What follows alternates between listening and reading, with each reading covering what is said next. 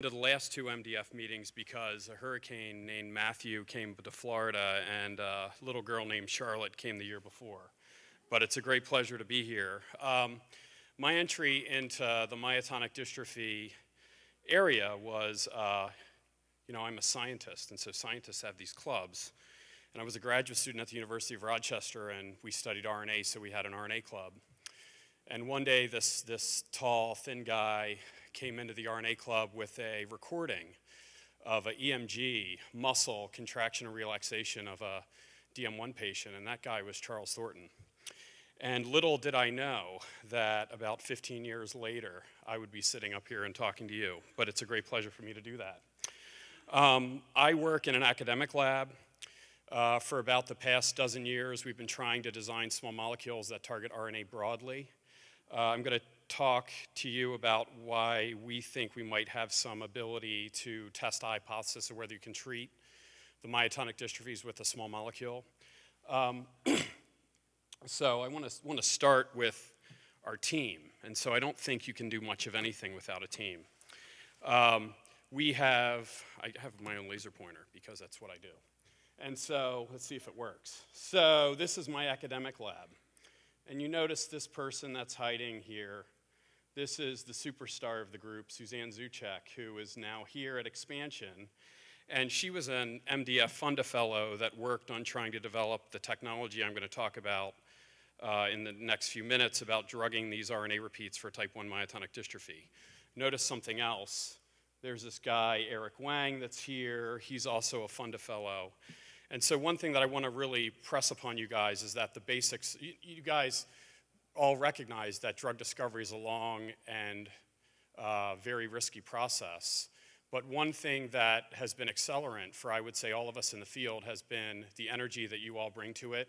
Uh, the MDF and these Fund-A-Fellows, which is a, you know, it's 50,000 bucks. We wouldn't be where we are today without that.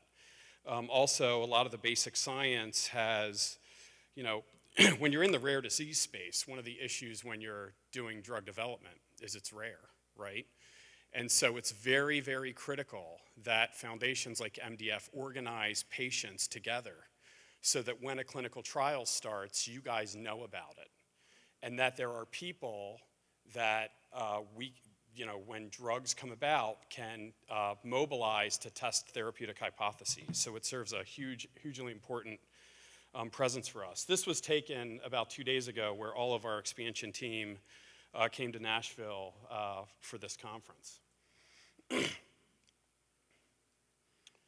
um, what, are, what are we doing? So we're trying to develop small molecules that target RNA. And so when you think about a small molecule, what do you think about? So small molecules are things like aspirin, Tylenol, Aleve that you swallow from a pill and you take. And so our ultimate goal is to, be ta- to take small molecules that can target the RNA that uh, causes type 1 and type 2 myotonic dystrophy. And the advantage of these small molecules is that they can obviously be orally bioavailable, um, that they can be engineered to do various things. Like, for example, uh, one thing that I found has been interesting since I'm here is that when there was a patient questionnaire, uh, you know, the patient said one of the major issues I have is with sleepiness. And so if you want to treat uh, myotonic dystrophy issues about sleepiness, then you have to get a drug that crosses the blood-brain barrier. And so our ability to have small molecules that target these RNA repeats allows us a lot of ability to change the structures of these compounds and get them to, for example, cross a blood-brain barrier, get into the brain, or uh, design a molecule that can more readily get into a skeletal muscle, for example. And so uh, that's a little bit different than some of the other larger molecular weight technologies. Because we're taking small molecules, we can leverage a lot of synthetic chemistry expertise to optimize these compounds.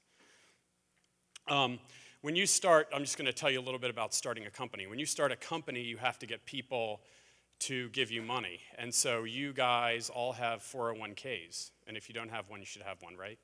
And so you get a return on investment in those. And a lot of what's happening is you have venture capitalists who have money where they're, uh, what they do is they try to fund companies to invest those dollars. And so we've been able to attract a wide variety of people within our board of directors, such as Scott Rocklage, who's at 5AM, I want to point out uh, Kevin Forrest is our CEO. He was CEO of Cidara, and he was also with 5AM.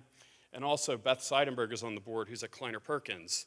Um, this is a pretty substantial amount of backers who are betting that we could make a, uh, get some path to making a drug in type 1 myotonic dystrophy. So Kleiner Perkins, for example, funded companies that you may or may not know, like Google and Apple. So these are significant and serious venture arms that really want to push therapeutic discovery to patients.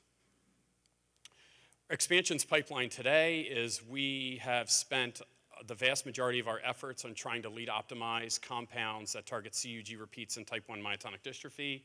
We have a wide variety of compounds that are targeting the CUG repeat in DM1 that have been through a number of animal models uh, to improve varying uh, issues with uh, disease, whether it's phenotype or genotype. We also have a very active program on, on type 2 myotonic dystrophy.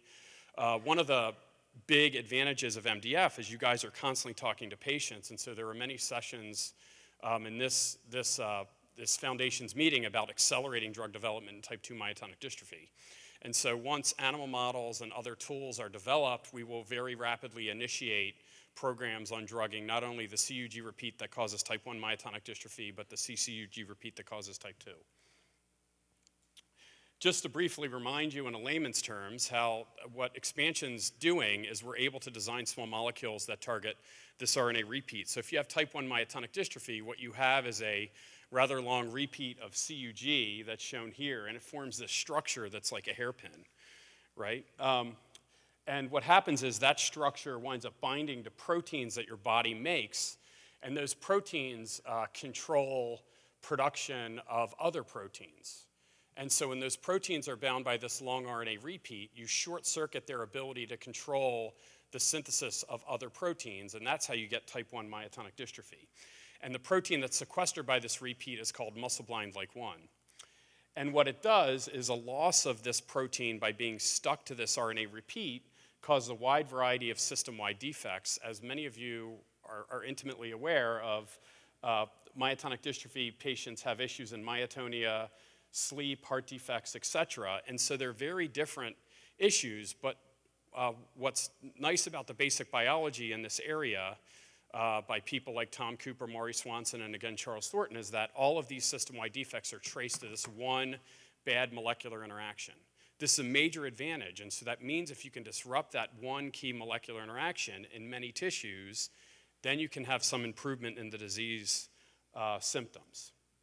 And so each one of these disease issues can be traced to a defect in a key protein whose synthesis is controlled by sequestered muscleblind. And so what we're doing in an expansion is we have the ability to design, that is, we can draw on a sheet of paper, and with pretty good accuracy, rationally design molecules that can target specifically these CUG repeat structures and free bound muscleblind to make that protein be free to then affect those other proteins in a positive way for developing therapeutics. And so we've been able to show in patient-derived cells that we can design molecules that very selectively target to disease, driving repeats of CUG.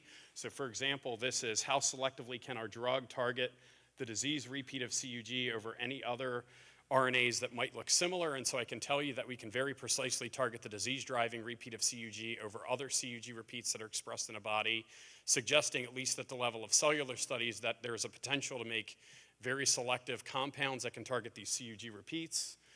The other, and we also know that these compounds are binding to the site that we designed them to target, which is very important in drug discovery. You want to know that when you make a, a lead uh, compound, that that lead compound hits the place that you designed it to hit in a cell, so you can then optimize it for improved properties. The other thing that we've been able to do is design, uh, as Ron had talked earlier with the CRISPR-Cas setting, is we've been able to design basically scissors that can go in and cleave disease-driving repeats of CUG, but instead of using CRISPR and oligonucleotides, we can use small molecules that can bind and destroy them. And so again, we can get very selective destruction of these RNA repeats that drive disease and leave these undisease driving repeats generally untouched. And so it suggests that as we go through a research operating plan to optimize these molecules, that we have not only the ability to target things selectively, but also the tools to understand if we can target them. Um, one other thing that we've been able to do, and this is uh, sort of Star Trek, although I realize I'm a scientist, and so everything I'm saying, you're like, Matt, you, I don't understand anything. I'm trying, okay? So you should give me feedback. Um, so um, I'm one of seven kids, and I'm the only scientist. So I've been in this position before, but I normally don't say anything at Thanksgiving dinner. So um, one thing that um, we've also been able to do is that we can actually get a disease-driving repeat of CUG to make its own drug, so to manufacture its own drug on site. And the way we do it is we can append compounds with this N3, or it's an azide and alkyne, and when these molecules bind adjacent to each other, they can react to form a drug that's actually synthesized by the disease driving repeat. And so, chemically, this is the equivalent of being able to put hands on parts of drugs, and then when they get to the right site in the body, they grab onto each other so that the drugs wind up holding very specifically to disease, the disease uh, causing repeat of CUG for therapeutic benefit. Um, when we can do that, we can also, this is in a DM1 patient derived cell, what you can see is we can image that hand holding or that drug synthesis in a patient derived cell. And so here's a cell, a healthy cell that doesn't express CUG repeats. And here's a, uh, a disease cell from a patient that does express it. You can see when you see red, that means that this drug is actually being synthesized, and we can get robust synthesis of drug in those cells. And so, if you want to dream a little bit, in principle, one could basically have an animal that's a preclinical model feed these monomers and then get only a DM1 affected muscle fiber or a region of the brain to synthesize its own drug and then track it. And the ability that we have to make these drugs on site has very significant implications for the potency of drugs. And so, by being able to do that, we can enhance the potency of these compounds by about a thousandfold. And so, that's the equivalent of taking, you know, a two liter bottle of Coca Cola and drinking it versus taking a teaspoon of a drug. So we're able to do this very precisely and very selectively. Um, but I want to caution you guys. We're off to a good start. We believe that uh, we have no, we're scientists, right? And so at some level, um, this is a science experiment that has to be done. And so we don't have data to suggest that one cannot drug these RNAs with a small molecule. In fact, we have data that suggests quite the opposite, is that it appears that uh, these RNA repeats with traditional small molecule drugs can be quite druggable. Uh, but what we have to do, is which was mentioned in the beginning of this talk, is that we have to prosecute these compounds in a way that does no harm to patients. And so this can be a long and arduous and understandably frustrating process. And so right now we're about here through our preclinical developmental uh, package where we're trying to optimize compounds to get them into uh, clinical trials, which have three phases a phase one, a phase two, and a phase three, where you test in different levels of patients.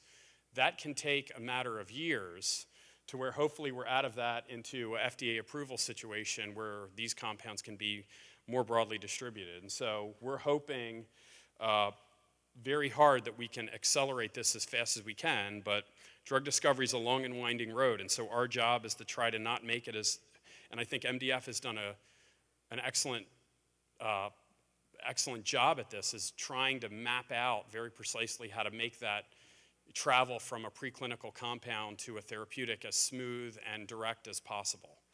Um, so that's all I have to say. Thank you guys very much. It was a great pleasure to talk.